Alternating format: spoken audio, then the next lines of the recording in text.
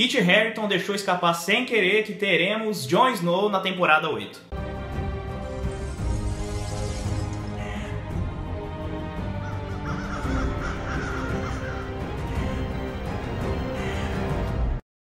Fala Galaçar, beleza? Aqui é o Cal para dizer as notícias de Game of Thrones dos últimos dias. Antes de tudo, não esquece de se inscrever aqui no canal, compartilhar com seus amigos, dar um like no vídeo se você já curtiu e se inscrever no meu outro canal youtube.com/novo-nerd, me seguir nas redes sociais, tá tudo aqui na descrição. Para começar, vamos falar sobre as graphic novels de Game of Thrones, aliás, sobre Crônicas de Gelo e Fogo. Para quem não sabe, Crônicas de Gelo e Fogo tem uma graphic novel muito legal e muito mais próxima dos livros do que a própria série. E os novos volumes serão lançados no meio de 2017, com previsão de lançamento para o dia 4 de julho, bem próximo da estreia da nova temporada. Sendo que a capa do primeiro volume de A Fúria dos Reis foi divulgada pela artista Magali Villeneuve nesses últimos dias. Foi divulgado também nos últimos dias o script do roteiro da morte do Stannis. A cena que acabou indo ao ar não tem nenhuma conversa, só tem a Brienne chegando, dando uma olhada para ele e a gente tem a noção de que ela decepou a cabeça dele.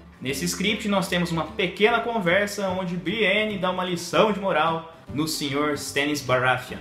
Para quem quiser ter acesso a esse roteiro, eu vou deixar o link aqui na descrição do vídeo. Nicolás Costa Waldau, ou Jaime Lannister, quase soltou um spoiler falando sobre o Jaime e a Cersei, onde ele disse que parece que a Cersei não tá bem só interessada no Jaime na sétima temporada, mas aí ele parou de falar dizendo que ele provavelmente perderia a mão por isso. Ele também falou um pouco mais sobre a relação do Jaime com a Brienne e do Jaime com a Cersei, que ele acredita que ele não sabe se o Jaime gosta realmente da Cersei, já que ele vê isso mais como um relacionamento de dependência, já que os dois são amantes desde os 15 ou 14 anos. E o Jaime nunca se permitiu a ter outro relacionamento a não ser o com a irmã, o que já foi muito diferente com a Cersei. Já o Kit Harington falando sobre Jon Snow, falou que ama muito o personagem, que não sabe o que vai acontecer no final de Game of Thrones, que por um lado é muito bom não ter mais os livros para que ninguém saiba o futuro de cada personagem, que ele se apegou muito a Jon Snow. E, detalhe,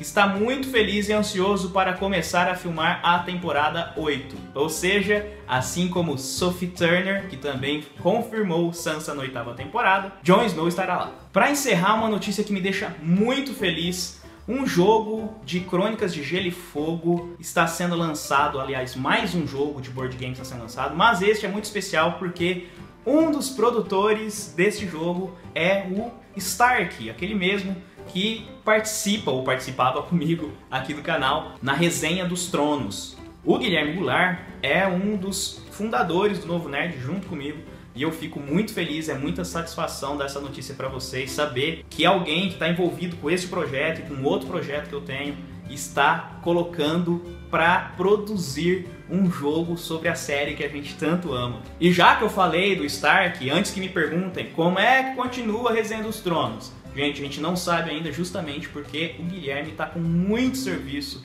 com a produção de board games nessa empresa que está produzindo o jogo de Crônicas de Gelo e Fogo. Sim, nós iremos tentar fazer as resenhas da sexta temporada que a gente não fez e da sétima, mas não posso prometer nada ainda. Tenham paciência. Essas foram as notícias dos últimos dias e aí qual que você gostou mais? Deixa seu comentário aqui e vamos discutir. Como sempre agradeço sua paciência, sua audiência. A gente se vê no próximo vídeo. Valeu, Calaçar!